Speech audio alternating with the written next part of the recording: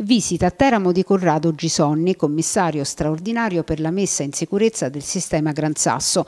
Gisonni ha prima incontrato il sindaco Gianguido D'Alberto e l'onorevole Fabio Berardini e si è poi recato nella sede della Ruzzoreti. Al commissario tutti hanno chiesto interventi rapidi e risolutivi sulla questione dei 100 litri di acqua persi al secondo nel punto di captazione sotto i laboratori di fisica nucleare del Gran Sasso a causa della mancata messa in sicurezza dell'acquifero.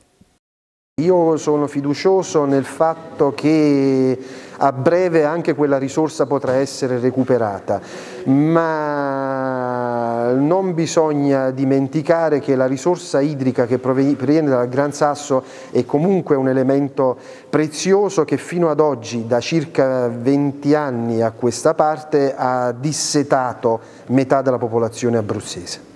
Quello che va assolutamente salvaguardato è il sistema di prelievo della risorsa idrica, non bisogna fare confusione fra questi due sistemi. Il sistema acquifero ha di per sé delle eh, clausole di sicurezza, dei dispositivi di sicurezza naturali, al proprio interno è un acquifero in forte pressione.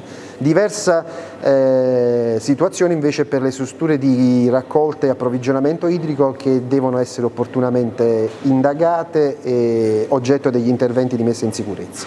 Purtroppo l'idea eh, che deve essere un progetto, quindi non può essere un'azione fantasiosa, ma deve essere un'azione concreta, non potrà che scaturire dal completamento delle indagini conoscitive.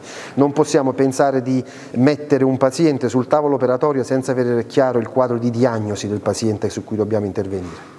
Il sindaco D'Alberto in particolare ha chiesto al commissario Gisonni di incontrare il prima possibile i sindaci del territorio allo scopo di rendere più fattive le attività di comunicazione e informazione.